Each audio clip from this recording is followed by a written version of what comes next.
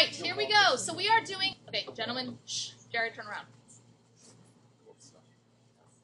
Okay, so today we are doing relations and functions word problems. So we have a team of home economists that were cooking hamburgers. They found that after six minutes of cooking the hamburgers, the moisture content of the hamburger was 48% by weight. This is so fun. Rather dry. Okay, Right. then after 10 minutes of cooking time, it was 40% moisture by weight. So the first thing that we want to do here is we want to graph this relation. So these are actually really, really easy. These are some of the easiest word problems ever. So here's how we're going to do. Um, so remember the the variable that goes on the x-axis is the one that controls whatever's on the y-axis. So you guys tell me what what would go on the x-axis. We have two choices. We have cooking time or moisture content on the x-axis. Oh, time. Time. In other words, the longer the time that it's cooked, the less moisture it has. Did I already give the extra credit sheet to somebody? Oh, no. No. Yes. That's true. You did. Come on, Ben, come Forgot. on. and- Oh, sorry. Let other people- Um, Come on. Oh, sorry. Sorry. hang on, I gotta pause it. Okay, we are back. We found our extra credit sheet. Shh. So, we all, before that mishap, decided that on the x-axis was time, right? Yes. Time or t. Meaning, the longer we cook this hamburger patty, the more dry it becomes. Okay. And so that means on the y-axis would be what? Moisture content. Okay, they actually give us, if we look down further in the problem, it actually says use T for the number of minutes of cooking time. So this is T, and C for the moisture content in percent. So let's put that here. Now, um, if we have, yeah, if you guys have, are there questions? This, C, and then percent. So C stands for moisture content, and then a little percent sign. Okay, so now, um, what we're gonna do here is we have we're gonna make some coordinates. The first one is that um, after six minutes of cooking time, so six minutes of cooking time, the moisture content was 48%. So that's our first coordinate. What? So can somebody tell me what the second coordinate would be? If the first one is 6 comma 48, um, does it help to do last names? Elizabeth, would last names be easier? Okay. Um, Feinerman. Um, Good. 1040. All right, everybody give it up for Feinerman. Okay. So, we have no numbers on this graph yet. So, anybody have any suggestions about what what a good oops, what good units or uh, what the scale should be on the C axis? Meaning, we know we have to get up to at least 40, 48, somewhere in there. Probably percent goes all the way to 100, but Unger Five. 5, 5, 10, 15, 20, 25, 30, 35, 40, 45, 50. That might work. But by fours would be easier. so By fours, threes. Let's go tens. Let's go tens. 10, 20. I don't know how well you all can you see that up there if I use the smaller pen? 50, 60, 70, 80, 90, 100. Okay. All right, now on the time or t axis. Suggestions? By ones. Okay, we know we're going to get at least out to 10. Yeah, they're by minutes. Twos. Let's do twos, just in case we end up going over. So 2, 4, 6, 8, 10, 12, 14. And again, our viewers at home, all of our audience members got a copy of these notes, so we're all just filling it in. Whoops, 16, 18, 20. Everybody fill this in. 30. Okay, shh, with the pen. Shh. Okay, so somebody tell me how to graph point 648. We all better know how to graph the point 648. Clark? All right, give it up for Clark. To the right, 6. Up 48. Obviously, this is an approximation. All right, somebody tell me how to graph the point 1040. Underhill. Over 10, up 40. All right, everybody give it up for Underhill. Right about there. Do with these two points? Draw a line. Good. Everybody give yourself props for answering the question correctly. Okay, here we go. So, okay, so now You guys tell me, would it make sense to extend these lines past our axes? No. Why not? They're not supposed to be. Okay, why not? Angel? Yeah, there's no there's no such thing as a negative percent of something. Just like there's no such thing, at least in this dimension, of negative time. Okay, so that's let's put these coordinates 648 and 1040. All right, everybody give it up for Angel for that explanation. Yay. Dude, everybody give it up for Angel for that explanation. All right, next step. Write an equation for the Unger. Turn around. Shh, stop talking. Write an equation for the relation. Use T for the number of minutes, cooking time, and C for the moisture content. We have done this before. We have done this, but in terms of X and Y. We're going to start with X and Y, and then we'll then we'll uh, come back and do plug in the C and T. So we have an X1, a Y1, an X2, a Y2. Anybody have any idea where we're going with this? This should be review. Slope. Good. Okay, somebody tell me how to find the slope. Let's do that first. Step one is the slope if we're writing the equation of the line. So how do I, what is the equation for slope? Mirabal? Oh, um,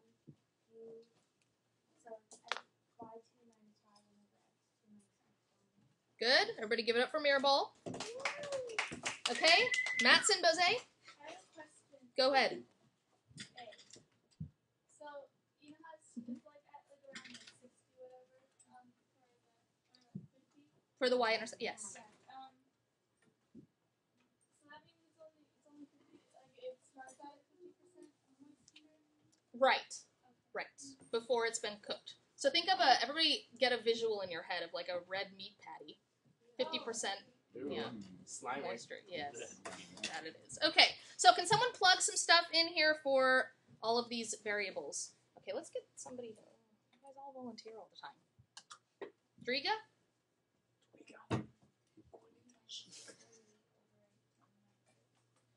Forty mi- okay, forty minus forty-eight over ten minus six. Okay, everybody give it up for Driga. All right, so that comes out to eight over four, negative eight over four, which is negative two. Okay, now step two. You can't see. Let's move it up so you can. So step two would be the line equation. Y minus y1 equals m times x minus x1. Unger. Shh. Salmon. Don't make me move you. I don't want Oh, that's right. Okay, so somebody plug some stuff in here for me. Maxie. Um, y minus forty-eight Good. equals negative two x minus six. Everybody give it up for Maxie. Yay. All right, now how do I simplify this? What do I do to simplify? Luma Quinn.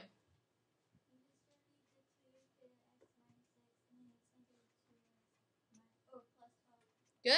And last step. Okay, good. And how do I get y by itself? I'm going to keep going with you. Add 48. Awesome. y equals negative 2x plus 60. Everybody give it up for Luma Quinn. Okay, but the thing is, we it said specifically in our directions to use C and T. So which one goes in for which? C goes in for either Y or X, and T goes in for either Y or X. So which is which? Okay, good. T is X, and so it's negative 2T plus 60. All right. So that's our equation, and then part C, it says use the equation and or the graph to predict the moisture content after 20 minutes of cooking time. So how would I do that? It says use the equation and or the graph. So one or the other, or both. Um, Ram? Okay. So how would we use it? What would we do?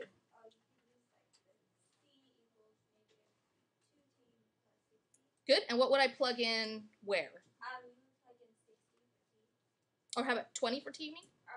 Good. Excellent. Everybody give it up for Ram. How about everybody give it up for Ram?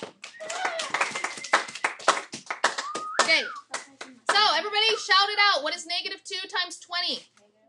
Negative 40 plus 60 is 20. So the moisture content of this very dry hamburger after 20 minutes of cooking time is 20%. Isn't that nice?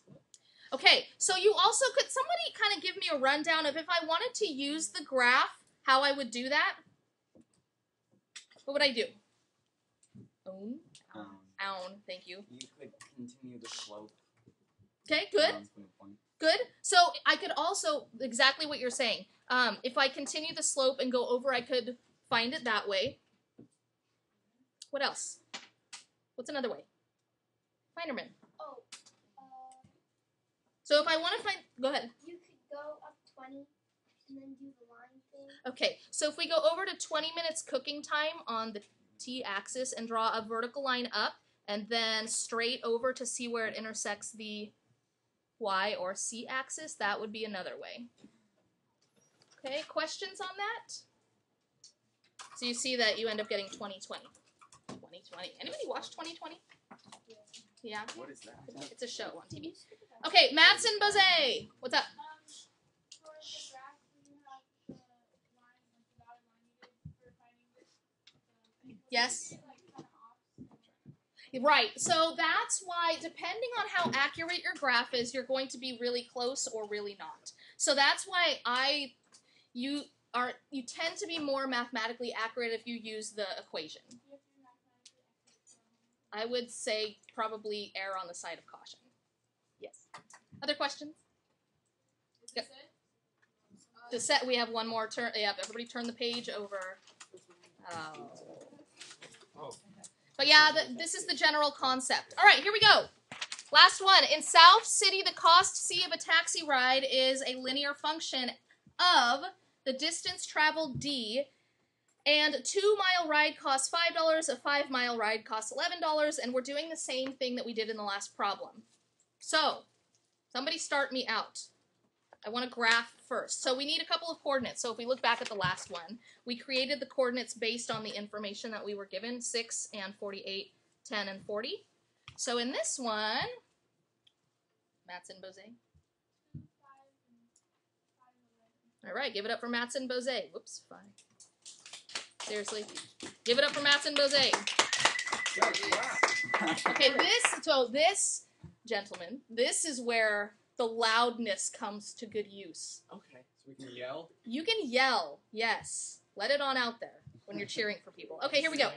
Why would you give them permission for that? Only when you are applauding other people. Okay. In South City, the cost C of a taxi ride. All right, so you guys tell me. On we have two variables here. We have cost and we have distance traveled. Which one goes on the x-axis? Mirabal. Distance or D? Excellent. Give it up for Mirabal. That's good. All right. Now we have the coordinates 2, 5, and 5, 11. So what do we think as far as scales on the D? D axis. What do we think? What would be a good scale there? One. Okay, that's good. One, two, three, four. Okay, how about on the C axis? Two. I like those. That's good. Two, four, six, eight, ten. Okay. Sixteen. Taxis are expensive. They're really expensive. Sometimes they're necessary though. Okay. So two, five, and five, eleven. Somebody tell me how to graph those two points. What do you think? Uh, O'Brien. Two at five. Up to, okay, go over two and up five. So that's halfway. Everybody give it up for O'Brien. The second one, um, Garcia. Over five, up eleven. Everybody give it up for Garcia. Yeah.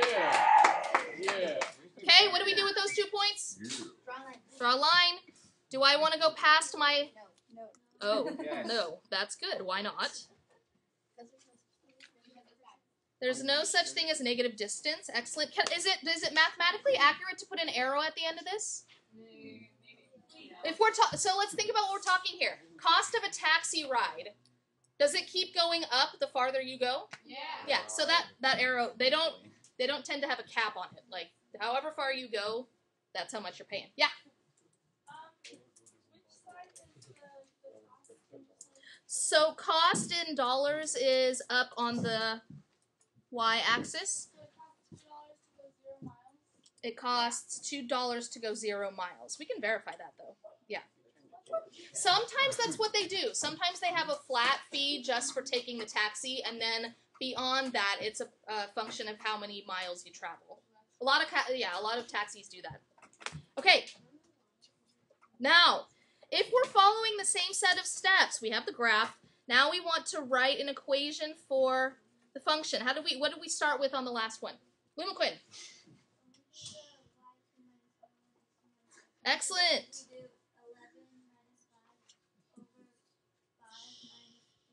Good. Give it up for Luma Quinn. Oh, oh did I cut you off? I'm sorry. Go ahead. Oh. Continue. Did I cut you off? Good. Okay, everybody give it up again for Luma. Okay, step two. What was step two? Rosander. Um, y minus y one equals m x minus x one. All right, everybody give it up for Rosander. Can't see it. Can't see it. Yay, thank you. All right, now we can. Okay, so Clark. y minus five Good. equals two and x minus six. All right, good. Everybody give it up for Clark. Oh yeah.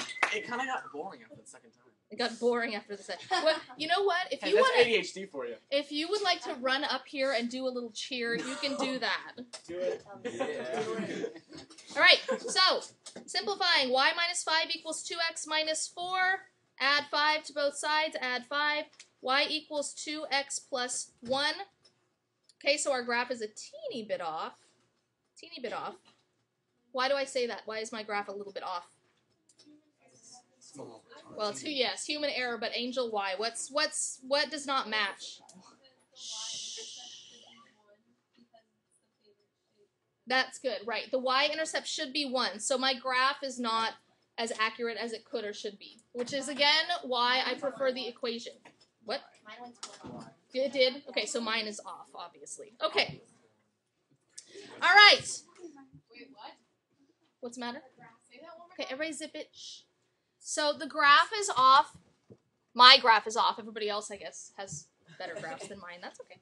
Um, so What's the answer? it's off because the y-intercept is supposed to be at positive one, but the way that I drew mine, it's at positive two. So that's okay. Good. So you all are doing better than I am. Yay! Give yourselves a round of applause for that. You're doing better than I am. That's good. Okay, I have to go back and plug in some variables. Matson Bose, go ahead. Okay, um, so if you have, you know how it says those graphs that have like the, the kind of thing where it goes like it goes up and it's like not not a circle but an arc.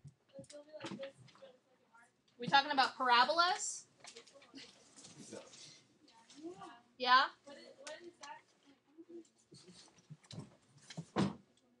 What? We're not there yet. We're, we'll get there later this semester. So uh, the question is about parabolas. We'll get there. Garcia, go ahead.